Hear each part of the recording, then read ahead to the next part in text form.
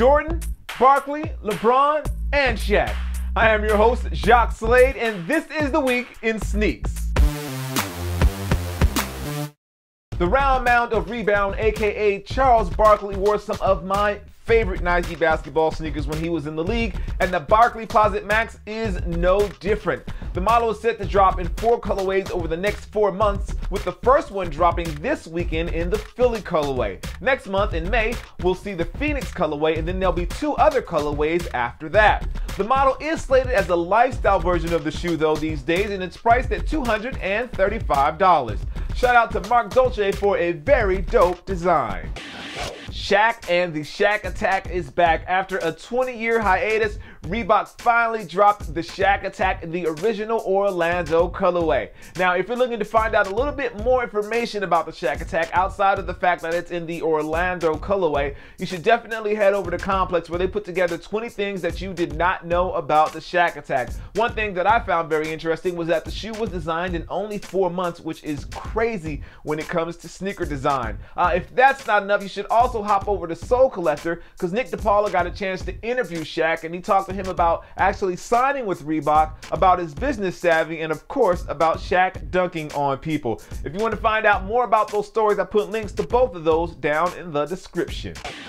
For those that like to run or who just like to style on them, ASICS dropped two colorways this week. First up is the ASICS Gel Saga 2 Kill Bill in yellow and black, which actually released on Thursday and is already sold out. Sorry, sorry about that. And the second pair is the Ronnie Fieg design ASICS Gel Lyte 3 New York. Details are slim about this model, but the colors clearly represent the Knicks, and it looks like it's a mix of suede on the upper with some hits of 3M.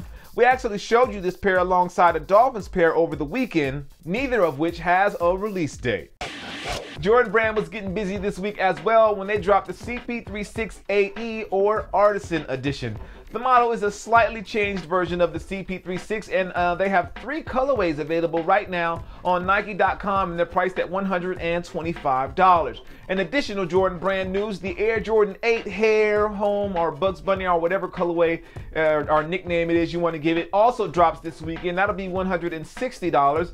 The official colorway is white, hyper blue, true red, and flint gray. Uh, just to give you a little bit of Air Jordan 8 facts, uh, it was worn by Michael Jordan in 1993, and it was the shoe he wore when he won his first three-peat.